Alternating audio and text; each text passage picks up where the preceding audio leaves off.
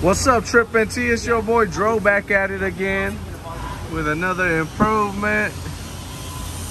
So when I'm over here working on this drill press, trying to drill something out, I try to line it up right here, thanks B.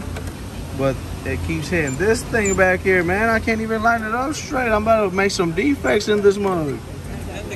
And this thing ain't even cut out. But so what I'm gonna do is I'm gonna push this back a little, give me some room so I could not have defects and so I could uh, drill out faster. All right, hold on now.